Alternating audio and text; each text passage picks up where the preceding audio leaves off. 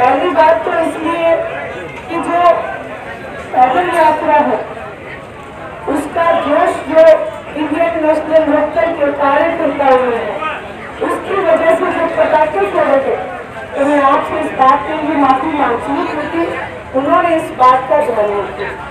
दूसरी बात, जो अभी अभी आपके बीच में संवाद करके गए, आदरणीय राम प्रकाश जी चौटाला ये मुझे कहने की ज़रूरत नहीं। कि खिलाड़ियों को सबसे ज़्यादा मान और सम्मान देना अगर किसने पहल करी शुरुआत करी तो आदरणीय ओम प्रकाश जी चौटाला उन्होंने खेल नीति बनाई। खेल नीति आज तक कभी कहीं नहीं थी। हरियाणा प्रदेश में खेल नीति बनी जिसका अनुसरण अनेक स्टेटों ने किया। दूसरी बात हम लोग धरने पे बैठे हम परेशान हैं। और मैं ये बात भली भांति समझती हूँ कि मैं भी किसान की बेटी।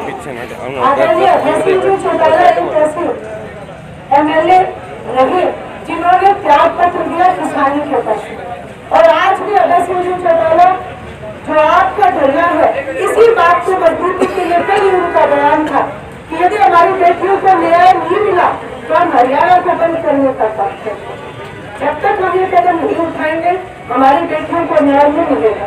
और ये जो बेटियाँ हैं, ये हमारा गौरव है अगर इनकी तरफ़ कोई आँख उठा के भी देखे तो आँख निकालने का मादा रखते हैं।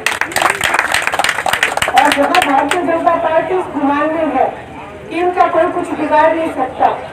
तो एक बार पद छोड़ के, मैं कुछ भूषण सिंह से यहीं से कहूँ कि एक बार अपना पद छोड़ के और जनता के बीच में आके दिखाए, उन्हें चूक कर और पानी का पानी की जनता करके मैं यही बातें कह रही थी, प्रोटोकॉल के हिसाब से पिताजी बोल रही है लेकिन क्योंकि मेरा ये दायित्व बनता है फ़र्ज़ बनता है, जो